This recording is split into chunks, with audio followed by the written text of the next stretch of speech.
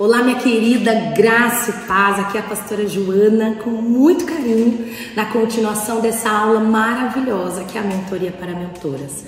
É, no início, na primeira aula, eu falei o porquê mentorear como mentorear? Será que eu estou preparada para mentorear? E hoje eu quero falar com você sobre alguns passos práticos de como você pode organizar a sua mentoria. E eu quero abrir este vídeo com você mencionando Colossenses 3:23. A Bíblia fala: "Tudo o que fizerem, façam de todo o seu coração, como para o Senhor e não para homens." Amadas, esse é um chamado espiritual. Quando você vai mentorear pessoas, né? Você não vai só liderar pessoa como um time de trabalho, uma organização. Mentorear pessoas é inspirar pessoas, é marcar a vida de outras mulheres. E eu fiz algumas anotações, aquilo que o Espírito Santo foi colocando no meu coração. De tá, Joana, mas eu quero, já entendi que Deus me chamou, eu quero mentorear, eu tô pronta, na verdade, sim, o estar pronta é um processo, né? Porque nós vamos ficando pronta a partir do momento do nosso sim. É quando Moisés teve a direção de Deus para avançar ao mar, o mar não estava aberto. E ele falou assim: aponta o cajado e vai e avança. E a maneira quando ele ia atravessando o mar, o mar ele ia se abrindo. E assim é comigo, com você. Hoje estou aqui gravando com para você, com a Kathleen, e nós estamos organizando hoje a final, né, a finalização de mais uma turma minha. E ela acompanha, vocês vão poder acompanhar aqui também todo o processo de organização. Então, antes de você é, fazer uma mentoria, pensar, né? Você já disse sim. Tá, mas quem são as minhas alunas? E o Espírito Santo colocou algo no meu coração. Antes de tudo, quando você for mentorear pessoas, você vai regar sua mentoria com oração. Você vai orar pela sua vida, você vai orar pela sua família e você vai orar pelas mulheres que Deus deseja colocar diante de você. Quem são as alunas, Joanas? Quem, quem eu posso chamar? O Espírito Santo. Existem três tipos de pessoas que você vai chamar, que Deus vai trazer para perto de você. Em oração, Deus vai te colocar nomes. Você vai chegar para algumas pessoas e você vai convidar. Primeiro você vai orar. O primeiro passo para você organizar uma mentoria é orando. Você vai colocar diante do Senhor e vai perguntar e vai falar: Deus, me mostra quem são as pessoas que o Senhor deseja trazer para perto de mim. E essas pessoas virão. E o Senhor vai te mostrar alguns nomes e você vai anotar esses nomes. E amém. Você vai divulgar. Você vai ter três classes de pessoas. Primeiro, as pessoas que você que Deus vai te mostrar e você vai convidar. E essas pessoas vão até falar assim, mas nossa, você acha que eu? É, e o Espírito Santo escolhe porque são pessoas que jamais imaginariam ou se colocariam à disposição. Então essas são pessoas que Deus vai, tipo, vai colocar no seu coração para você convidar. Segundo, pessoas que vão pedir para participar da sua mentoria. E terceiro, pessoas que foram indicadas por alguém. Porque você pode estar pensando o seguinte: ah, Jona, mas tem um monte de gente que está me pedindo. Né? Um pastor da, da nossa igreja ele fala o seguinte: necessidade Deus supre. Nós nos movemos por propósitos, o pastor Jack fala. Então, você tem que pensar, não, eu não vou abrir a mentoria só porque tem gente precisando, né? Isso é algo também, né? Ele, ele, ele é, é, esse é um dos pontos, dos, dos fatores, mas isso não pode ser o principal. É, muitas pessoas acabaram me conhecendo por causa daqui dos vídeos do YouTube. E eu recebo muitas mensagens de mulheres dizendo, ah, você tá com turma, você vai abrir, mas eu coloco em oração. Eu falo assim, Deus, qual é o dia, qual é a data, quando que eu começo uma mentoria? Então, primeiro você vai orar. Você vai anotar nomes que as pessoas que Deus vai te mostrar e você vai convidar essas mulheres. Segundo, são pessoas que vão pedir para você participar. E terceiro, são pessoas que vão ser convidadas por outras mulheres. Eu tenho uma aluna agora que ela pagou o seu e ela tá abençoando mais outras duas amigas que chegaram na minha casa e não sabiam nem o que estava acontecendo. E essas mulheres estão sendo transformadas pelo amor de Deus.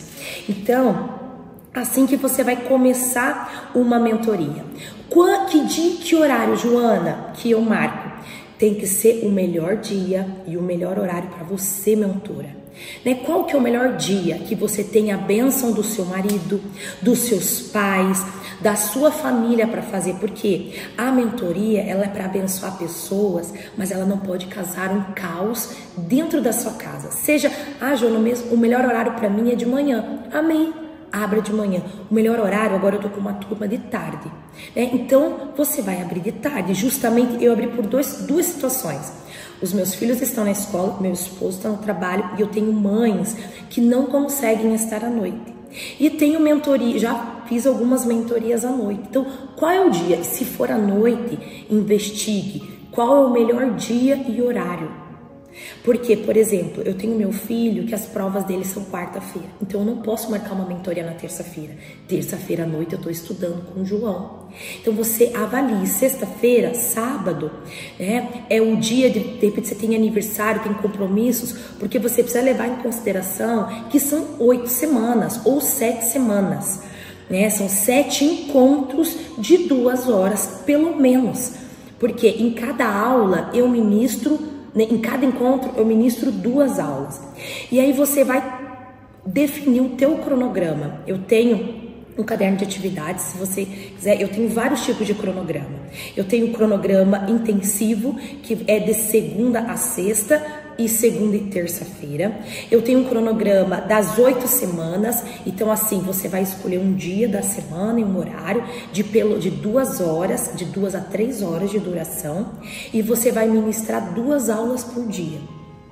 Ou você tem o cronograma de imersão, que é na sexta e no sábado, onde você vai ministrar as principais aulas. Quais são as principais aulas, Jana? Você que escolheu? Não, eu não escolhi. Foi em oração, o Espírito Santo me mostrou. Eu falei, Deus, eu queria uma imersão.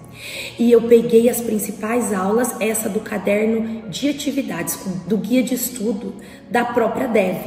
É, ela definiu um caderno de atividades, eu tenho na bio do meu Instagram, eu vou até abrir aqui para vocês e eu vou ler quais são as aulas que a, a, as aulas né, sugeridas dentro deste guia de estudo que seria ministrada pela, né, para uma imersão. Se você fosse me perguntar, Joana, quais seriam, o ideal é dar todas as aulas, né? Mas assim, ontem eu estava até com uma líder de igreja. Eu falei assim, olha, o que as principais aulas para mim estão no guia de estudo. Uma é a dignidade e a santidade do lar, né? É a primeira aula. Segundo, o princípio da mesa. Terceiro, princípio do também. Quarta, princípio de usar aquilo que você tem. A seguinte, o princípio da honra. O princípio da honra eu sempre ministro por último, porque eu tenho um momento com elas, eu falo da importância. Quando o Espírito me direciona, eu faço um lava-pés no princípio da honra. Então, a honra é sempre a que eu deixo por último nos meus, nas minhas mentorias. Relacionamento pais e filhos, dinâmicas de personalidade e resolução, resolvendo conflitos familiares. Então, se você quer fazer uma imersão de quinta a sábado, escolha dentro, né? Escolha essas essas, esses temas aqui que a própria Deb indica. Então, como que você vai organizar? Jona, eu não sei quantas alunas, quantas cabem na sua mesa. Quantas alunas cabem na sua mesa? Aí você tem que pensar. Se são, eu tenho uma mesa de quatro lugares, então é você e mais três. Você tem lugar para três mulheres. Eu tenho uma mesa de seis lugares, então você tem cinco vagas na sua casa. Aí eu tenho, Joana, um lugar, eu tenho uma mesa para oito pessoas. Então você, uma e mais sete alunos. Então você tem sete vagas na sua casa. Deus me deu uma graça, né, da minha casa de ter dois ambientes. E eu trouxe, quando eu vim para essa casa, eu trouxe uma mesa, essa aqui que, né, que eu estou ministrando, é uma mesa da minha chácara. Né? Então eu trouxe para cá. Então hoje eu consigo comportar né, é, 20 pessoas, porque é uma mesa de 12 lugares e mais a de 8 lugares. Né? Mais eu, e normalmente para esse número de mulheres eu tenho uma mentora auxiliar, então na verdade eu tenho 18 vagas. Não adianta eu querer uma, abrir uma turma. Ah, eu quero abrir de 10 pessoas, né? E eu não tenho, não consigo colocar essas mulheres à mesa. Você precisa fazer a mesa? Não necessariamente, né? Todas as aulas. claro, né? Se você for ministrar, né? Quando você for ministrar o princípio da mesa, um pré-requisito é o tempo à mesa. Então, por isso que eu falo, não, não convidem mais mulheres do que comportem na sua mesa. Você pode cobrar? Não pode cobrar? Né? As minhas primeiras turmas foram primícias ao Senhor. Eu não, eu não cobrei nada. Né? Minha, alguma, as minhas primeiras turmas, inclusive dando alguns materiais, fazendo algumas coisas. Então, assim, não necessariamente, ai, ah, Joana, mas eu não tenho condição. Faça uma planilha. Pense o que você gostaria né, de, de, de ofertar para essas mulheres. Então, as primeiras aulas, né, as primeiras turmas, você pode pedir inclusive para que as suas alunas tragam um prato ou fazer uma escala, né? A cada encontro, duas estão responsáveis por trazer o lanche. Você prepara, né, o suco, o café e essas duas né, alunas, elas podem trazer o doce e o salgado e você pode. Pense que assim, nada pode limitar o agir de Deus através da sua vida. Lembre-se da mulher né, a viúva que só tinha um pouquinho de azeite, ela usou aquilo que tinha. Quando o profeta vai na casa dela, ele fala assim: tá, mas o que, que você tem? Ela fala assim: eu não tenho nada, mas eu só tenho esse pouquinho de azeite. Ele fala o seguinte: fale para os teus filhos, né? Iam levar os filhos dela como escravo. Fale para ele bater nos vizinhos, porque você pode buscar a ajuda dos outros. Você, a gente precisa das pessoas também. E aquilo que Deus nos colocou, aquilo que Deus nos trouxe, já é tudo o que nós precisamos. Então nós não podemos subestimar. Eu, quando eu comecei a minha mentoria, eu tinha uma mesa de oito lugares. Né? A minha primeira turma, lá quatro anos atrás, era uma mesa de oito lugares e eu tinha acho que seis alunas, se eu não me engano, na minha primeira turma. E em seguida, né, foi aumentando. Então não subestime o que o Senhor colocou diante de você.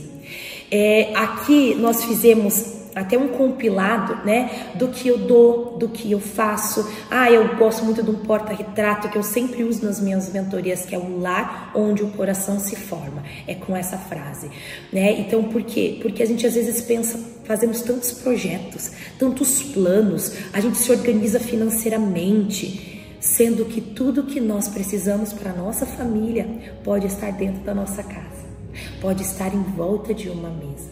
Então, assim, avalie o seu público. Hoje, a Trina, ela tem deixado muito aberto. Você pode fazer experiência do lar, né, com mulheres da comunidade, né, em escolas, em igrejas, né? Eu penso até em, em trazer para minha empresa. Nós temos uma empresa. Eu quero ministrar a experiência do lar. Aqui ela está rindo, né? Eu quero ministrar a experiência do lar na minha empresa. Preparar uma sala, nós temos mesas lá e ministrar aquelas mulheres. Então pensa assim, você não defina um padrão exato. Ah, porque a fulana está fazendo assim no hotel. Para que, que eu preciso de um hotel? Amém que Deus está usando a vida dela através do hotel. Talvez ela não tenha uma mesa em casa, ou às vezes tem um marido que ainda, né, a família ainda não, não, não entrou na visão e Deus tem chamado né? Então, ou Deus deu uma direção para fazer num hotel, amém. Outra tem uma casa assim, outra tem uma sala assado. Aquilo que Deus colocou e Deus vai multiplicar. Então, primeiro, qual o tamanho da sua mesa, né? Vai definir o número de alunas? Qual o tamanho da sua mesa? Você tem louça? Você pode pedir louça emprestada. Né? Eu não tenho eu não tenho 18, 20 louças iguais. Então, por exemplo, assim, para essa turma, eu precisei trazer louças de outro local, né, para compor. Então eu posso mesclar a minha mesa, eu posso intercalar, eu posso ter uma mentora auxiliar que me traga o kit dela também, e eu posso intercalar. Use a criatividade e pessoas que eu não alcanço, Deus quer alcançar através da sua vida. Então, às vezes, muitas mulheres elas vêm até mim, Júlia, quando você vai abrir turma? Eu falo, amada, eu que te pergunto, quando você vai abrir turma? Quando você vai abrir turma? Porque Deus quer usar a sua vida. São mulheres que você vai alcançar, que Deus vai alcançar através da sua vida, que vão entrar na sua casa porque não vão querer entrar na minha, que não vão querer estar à mesa comigo. Então, esse é o chamado de Deus para nós. Quem o Senhor já, já confiou a você? Como você tem se organizado? O que o Senhor deseja ministrar, graças a Deus, hoje nós já temos disponível de forma gratuita aqui no YouTube toda a mentoria. É, então, às vezes, assim, você não consegue é, ministrar uma aula sobre limpeza, você pode encaminhar e ela pode assistir em casa, mas que, né, nós temos também o formato IAD. A Bilma, discípula minha, ela ministra a primeira aula, e ela vai ministrar a última aula. Ela criou um grupo no WhatsApp, aonde ela manda o link das aulas para ela assistir e a tarefa. E essas mulheres foram três alunas e eu vi o impacto que o Senhor fez na vida delas. Ela entrou como uma facilitadora. Ela encaminhava os vídeos, ela encaminhou o caderno de atividades, ela colocou as atividades que elas eram para fazer, as dinâmicas. Então assim, e Deus fez. Deus vai usar a sua vida. A questão é aquilo que eu tenho feito com o que o Senhor tem me confiado. Quando eu vou esperar? né? E nós vamos passar para você um pouquinho da minha dinâmica você vai olhar eu montando as mesas, eu separando os talheres, eu coloco sempre uma vela na mesa que simboliza a presença do Espírito Santo nos meu, na minha mentoria, é na minha casa, na minha mesa. Então eu sempre coloco uma, uma vela a mesa é a, é a marca ali das atividades, né? O que, o que acontece Hoje, na minha turma, Deus me deu a graça de dar um caderno para elas, para que elas possam é, anotar aquilo que o Senhor tem falado e aquilo que elas precisam colocar em prática. Então, você pode fazer no próprio livro, no último capítulo, a Dev, ela vai colocar um cronograma de quais aulas ministrar, de como ministrar. Então, ali você pensa, ah, Jona, eu preciso da tua? Não necessariamente. A Dev já deixou isso tudo pronto para nós, né? E com base naquilo que ela colocou e no base com as minhas turmas, eu montei um material sim, né? Mas é aquilo que Deus vai colocar nas suas mãos, né? Eu posso, você pode me chamar, eu vou passar com todo amor, até vou colocar aqui, você pode colocar print, você pode printar e adaptar isso dentro da sua realidade.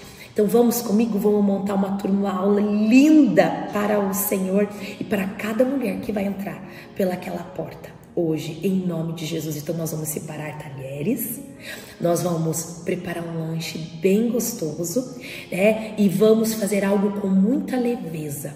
Se você gostaria de preparar algumas coisas mais especiais, organize-se pelo menos uma semana antes. Já vá, eu no meu notas do meu celular, eu vou, às vezes eu tô na cama, eu tô pensando, eu tô dirigindo, ou eu tô esperando meu filho da escola, e algumas coisas que o Senhor vai me colocando, eu vou anotando. Poxa, eu queria fazer isso nessa mentoria, e cada mentoria Deus me dá uma direção diferente, né? Uma, um mimo diferente, uma dinâmica. Então, assim, vou deixar disponível para vocês também sugestões de dinâmicas. A gente tem o pote da gratidão, que eu faço isso já na primeira aula, que é um pote onde eu vou colocar diariamente. As minhas alunas elas colocam, elas escrevem no papel três motivos de gratidão. Elas mesmo confeccionam esse pote da gratidão e você pode aplicar isso. E hoje a internet nos traz muitas dinâmicas. Eu vou colocar aqui para você também.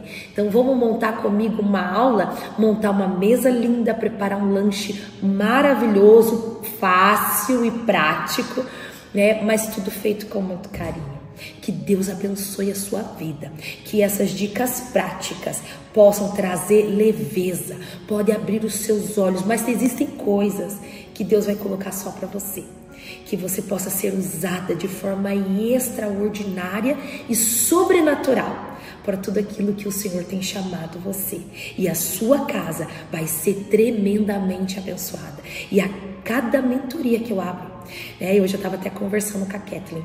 Eu falei assim: eu vejo e Deus me deu uma visão, uma linda caixa descendo do céu e algo sobrenatural sendo derramado sobre a minha casa, sobre a minha família, sobre a minha história.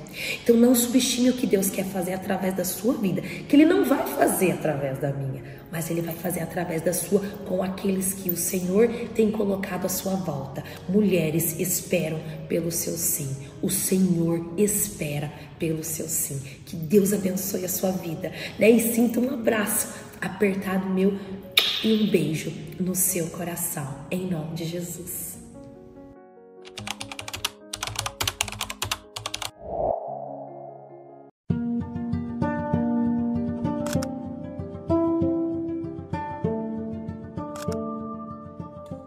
Então eu sempre dou várias lembrancinhas, né, mimos no meu, nas minhas mentorias, mas eu sei que isso tem um custo, né? Isso faz parte do meu temperamento. Eu amo presentear, né? É uma linguagem de amor minha.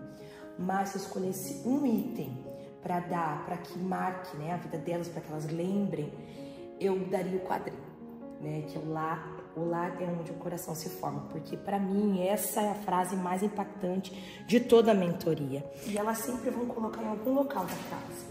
E isso vai lembrá-las de tudo que elas aprenderam é, na aula e da importância da casa e do impacto da casa e do que significa verdadeiramente na vida de uma pessoa o lar.